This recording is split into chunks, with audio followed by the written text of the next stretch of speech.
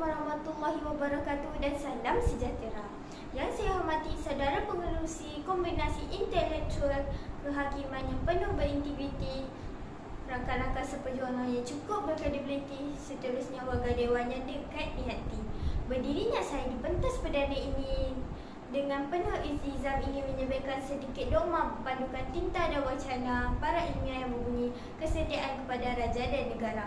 Secara konsepsualnya, kesetiaan merujuk kepada perihal setia, keteguhan hati dan ketaatan. Raja pula merupakan seseorang yang memerintah sesuatu negara. Negara pula merupakan kawasan yang di bawah kekuasaan tertentu.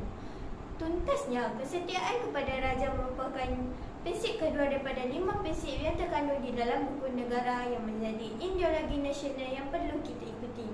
Prinsip ini menekankan kepada rakyat betapa pentingnya kesetiaan yang perlu ada dalam karangan rakyat terhadap raja dan negara.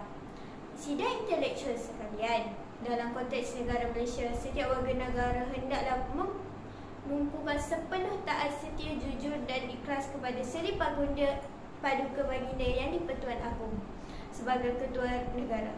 Oleh itu adalah menjadi tanggungjawab setiap rakyat menjadi warga negara Malaysia untuk taat setia kepada Yang di-Pertuan Agong.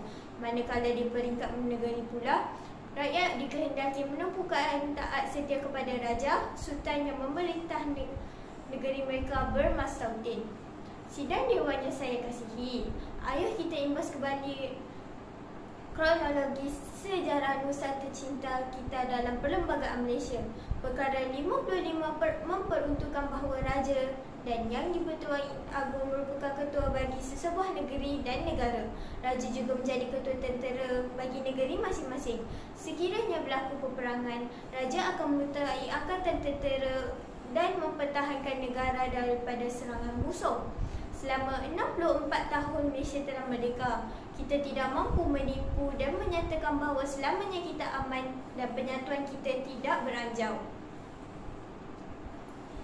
Hal ini demikian kerana bumi yang bertuah ini pernah berasa sakit, perit, merintih dan sedih kerana usaha menyatukan kulit warna kulit yang berbeza, agama yang berbeza, fahaman yang berbeza.